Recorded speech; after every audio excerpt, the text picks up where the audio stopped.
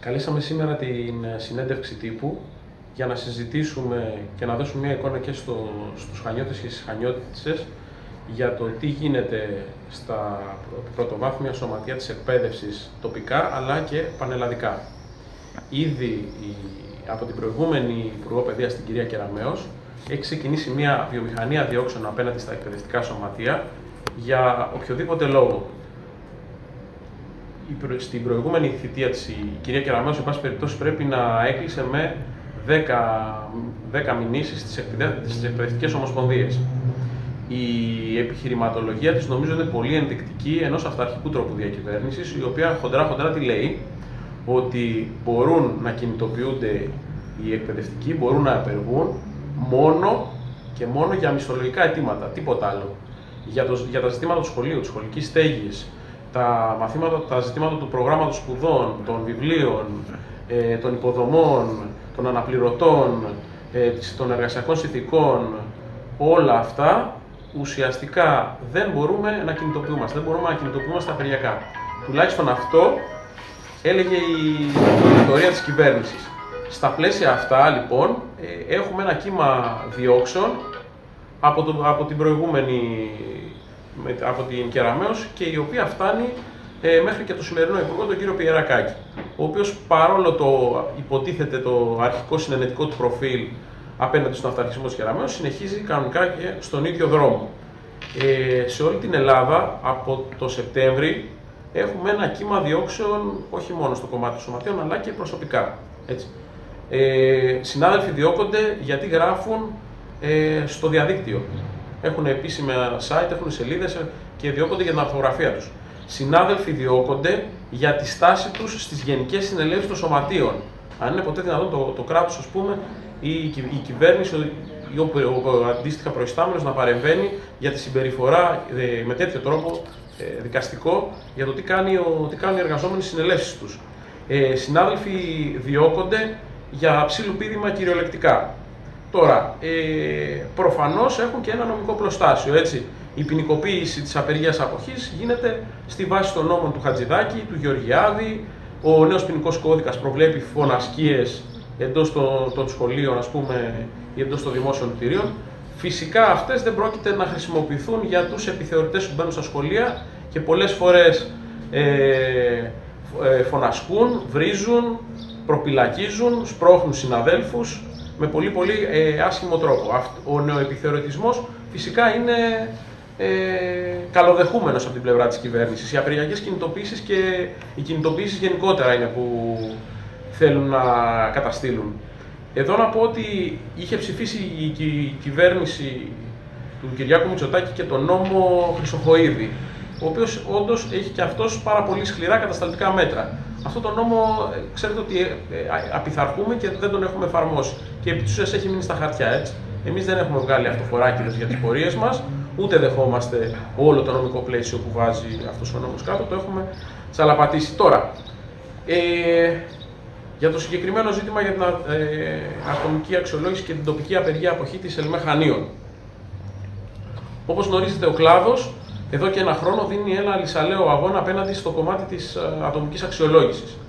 Ε, δηλαδή στην προσπάθεια νεοεπιθεωρητών, είτε συμβούλων είτε των διευθυντών, να μπαίνουν μέσα στις τάξεις, να σημειώνουν κάποιους δείκτες υποκειμενικούς, το έχουν παραδεχθεί ότι είναι υποκειμενικοί και οι ίδιοι, ποσοτικοποιώντας την εκπαίδευση, κάτι που είναι αδύνατον, να το παραδίδουν στην υπηρεσία και από εκεί να εξαρτάται αυτή τη στιγμή η μονιμοποίηση 28.000 νεοδιόριστων σε όλη την Ελλάδα και όπως λένε και τα στελέχη της Νέας Δημοκρατίας, της κυβέρνησης δηλαδή, αύριο θα μπει ο μισθός, η ασφάλιση, η σύνταξη, το ωράριο για όλους.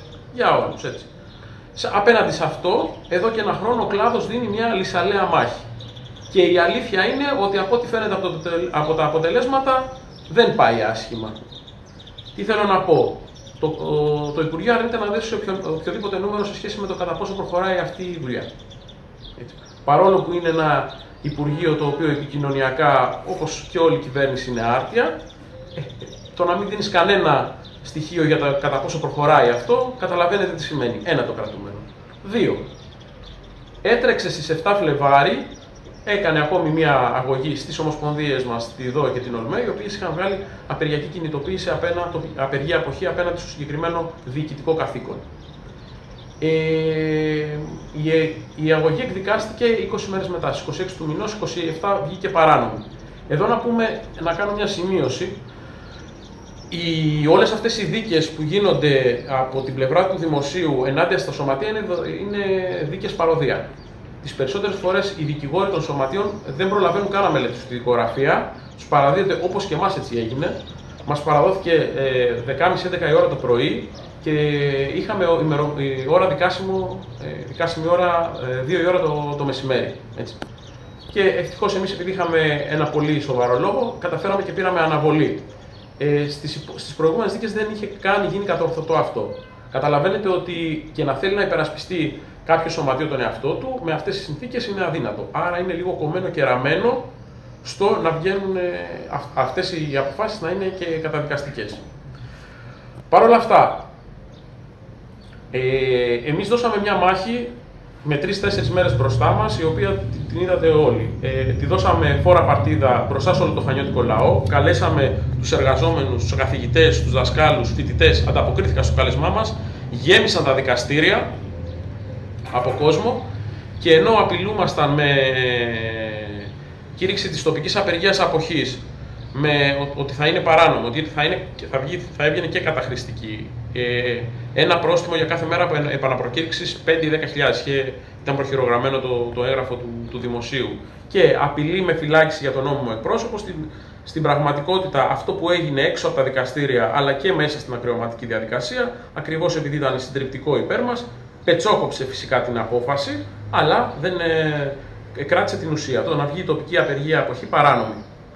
Μάλιστα, ε, το Υπουργείο προσπάθησε να εκμεταλλευτεί αυτό στο μέγιστο βαθμό, φτιάχνοντας μία εγκύκλιο η οποία ονομάτιζε την ε, φωτογράφηση τη συγκεκριμένη υπόθεση και πατούσε πάνω στην, προσπαθούσε να πατήσει πάνω στην απόφαση του δικαστηρίου, το έστειλε σε όλα τα σχολεία ε, της χώρας, προσπαθώντας να τρομοκρατήσουν αδέλφους.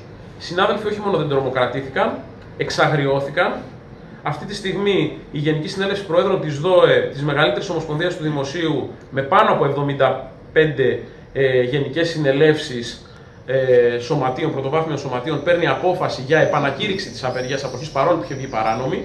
Τα 75 πρωτοβάθμια σωματεία έχουν απόφαση για τοπική επαναπροκήρυξη, δηλαδή για αυτό που εμάς μας έχουν καταδικάσει 75 σωματεία στην πρωτοβάθμια λένε δεν μασάμε, και ρίχνουν σφακελιές στο Υπουργείο, όπως και άλλοι, υπάρχουν άλλες και 35 ΕΛΜΕ. Αυτή είναι η εικόνα που έχουμε από τη Γενική Συνέλευση των Προέδρων που είχαμε το, το Σάββατο στις 30 ε, του μηνός.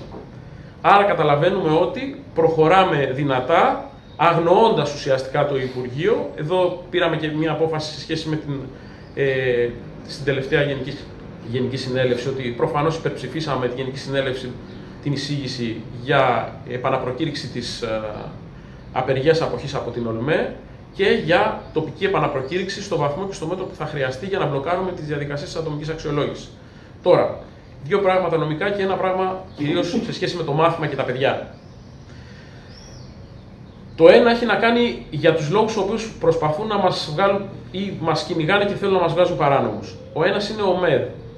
Είναι από τον τελευταίο νόμο, είναι η λεγόμενη θα το δείτε και στις ε, αποφάσεις, γιατί δεν πάτε λέει, στο διάλογο, στη διαιτησία. Μα το συγκεκριμένο νομικό πλαίσιο είναι φαλκιδευμένο για να σε βάζει στο διάλογο, να σε κλειδώνει εκεί μέσα και ο νόμος να τρέχει. Αν πας στο διάλογο, ο διάλογος δεν παγώνει τον νόμο. Άρα, αν πεις προσέρχομαι στον διάλογο, να το πω έτσι, του ΟΜΕΔ, ο νόμος τρέχει, εσύ κάθεσαι σε ένα διάλογο το οποίο το Υπουργείο μπορεί να μπει μετά από 4, 5, 6 μήνες, ο νόμος να εφαρμόζεται να περνάει το πράγμα και επί της ουσίας είναι δεμένα τα χέρια.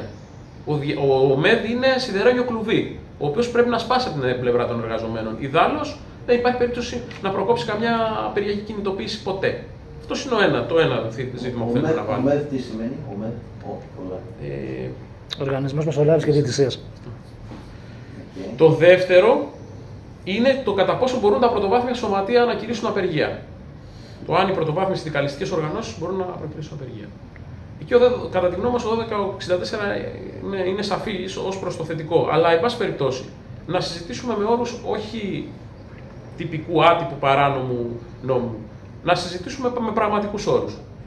Τα ζητήματα της στέγης τα ξέρετε όλοι πολύ καλά. Τα έχουμε αναδείξει και σαν Ελμεχανίων και σαν Επεχανίων πάρα πολύ. Με πολύ γλαφυρό τρόπο. Και για τα προκάτα έχουμε μιλήσει, και για τις κακοτεχνίες στα σχολεία, και γιατί δεν έχουν ρελέ, ας πούμε, και κινδυνεύουμε με τα σχολεία από πυρκαγιά ή βραχικύκλωμα, και ότι δεν έχουμε σχολικές μονάδες, και ότι πέφτουν τα βάνια και, και, και, και, και. Ερώτηση. Εάν γίνει κάτι όπως έγινε στην Αθήνα και πέσει ένα ταβάνι ολόκληρο, που ο, ο, ο δάσκαλος το πήρε χαμπάρι 5 λεπτά πριν γίνει και εκείνο στην αίθουσα. Εάν γίνει κάτι όπως έγινε στην Θεσσαλία που έπεσε τείχος μέσα στο σχολείο, και ευτυχώς ο δάσκαλος όντως το πήρε 10 λεπτά νωρίτερα και έβγαλε τα παιδιά. Εάν γίνει αυτό που έγινε στη, Βόρεια, στη Μακεδονία και έσκασε Λέβητας, εμείς την επόμενη μέρα, αν γίνει αυτό εδώ, μπορούμε να προκηρύξουμε απεργία; Εγώ αυτό λέω. Το, τα σχολεία θα κλείσουν. Εμείς αυτό απαντάμε θετικά. Τι να συζητήσουμε; Θα πούμε, θα κοιτάξουμε το ένα, το άλλο, να δούμε αν και πώς. Το σχολείο από τη στιγμή που συμβαίνει αυτό, έχοντας αναδείξει όλο αυτό το πράγμα, έχοντας κάνει μια μεγάλη κουβέντα η οποία έχει διαπεράσει την χανιώτικη κοινωνία εδώ και πολλούς μήνες, νομιμοποιούμαστε νομίζω να κατέβουμε σε απεργιακή κινητοποίηση, τελεία και παύλα. Χωρίς πολλά πολλά. Ξέρουμε ότι θα είναι δύσκολη μάχη για να το κερδίσουμε και δικαστικά. Δεν μασάμε όμως, θα συνεχίσουμε. Και τέλος, επειδή το Υπουργείο σε όλα αυτά τα δικόγραφα αναπτύσσει μια ε, φιλολογία το κατά πόσο η αξιολόγηση βελτιώνει το εκπαιδευτικό έργο, θα γίνεται καλύτερο μάθημα και το καθεξής. Αυτά είναι μπουρδες. Και το λέω, όταν το πω, τελείως χημικά. Έτσι είναι. Γιατί, πρώτον, όπου εφαρμόζεται η αξιολόγηση, ουσιαστικά ε, γίνεται ένα παραμύθι όπου στείνονται παραστάσεις για 25 μαθητές, έναν σύμβουλο και έναν εκπαιδευτικό, χάνονται ώρες μάθημα, το μάθημα προσανατολίζεται στο τι, στο να γραφτεί σωστά η φόρμα αξιολόγησης. Τίποτα άλλο. Δεν έχει κανένα παιδαγωγικό κριτήριο.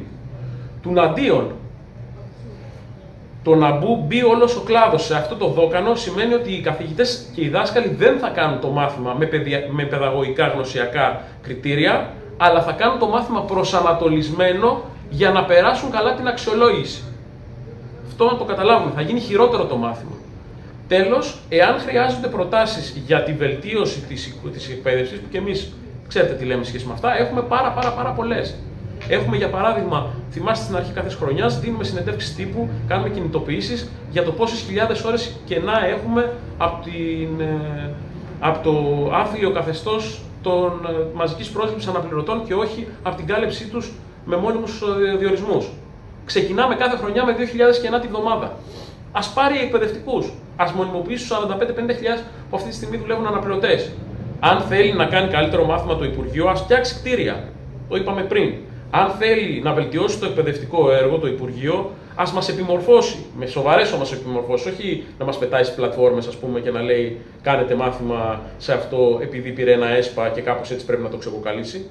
Μας βάλει έτσι να μάθουμε παιδαγωγική, σύγχρονη παιδαγωγική, τα, τα επιστημονικά μας αντικείμενα τα οποία εξελίσσονται. Εάν θέλει προτάσεις λοιπόν για καλύτερο μάθημα, αυτές είναι. Σίγουρα δεν είναι να περάσει ένα πράγμα το οποίο αυτή τη στιγμή απειλεί χιλιάδες ε, εργαζόμενους με μη μονιμοποίηση και πολλούς, χειρό, πολλούς και χειρότερους όρους ε, στους παλιότερους συναδέλφους απειλώντας το μισθό, την ασφάλιση, τη σύνταξη και ούτω καθεξής. Αυτά. Έχετε αύριο τη δίκη στο εφετείο για την υπόθεση; Ακριβώς. Αύριο είναι το εφετείο σε σχέση με την, ε, με την έφεση για την απόφαση που έβγαλε το, το μονομελές πρωτοδικείο. Εμείς έχουμε κηρύξει στάση εργασίας από τις 10 η ώρα και καλούμε σε συγκέντρωση 10.30 ώρα ο, τους χανιώτες που καταλαβαίνουν ότι αυτή τη στιγμή διακυβεύεται κάτι πολύ περισσότερο από την ατομική αξιολόγηση ή από το, από το ε, συγκεκριμένο κλαδικό ζήτημα. Αντιλαμβάνονται ότι πρέπει να έρθουν και να συμπαρασταθούν για ένα καλύτερο δημόσιο σχολείο, για να υπάρχει το δικαίωμα της απεργίας αύριο, για να ζούμε σε μια χώρα ας πούμε, με δημοκρατία και όχι σε ένα πράγμα το οποίο είναι εξαιρετικά αυταρχικό. Θα πούμε και για τη μήνυση. Ναι, εντάξει, η Ελμεχανίων εδώ και λίγες ώρες έμαθα ότι το ΔΣ τη έχει γίνει μήνυση από μία σύμβουλο. Δεν, ε, δεν γνωρίζουμε το περιεχόμενο της μήνυσης. Μας έχουν πάρει τηλέφωνο από το δικείο. Αύριο θα το παραλάβουμε και θα γνωρίζουμε περισσότερα. Ε, νομίζω πολύ ενδεικτικό της κατάστασης, δεδομένου ότι οι σύμβουλοι είναι οι σύγχρονοι νεοεπιθεωρητέ, είναι η, η γραμμή πυρός για την αξιολόγηση, άρα είναι πολύ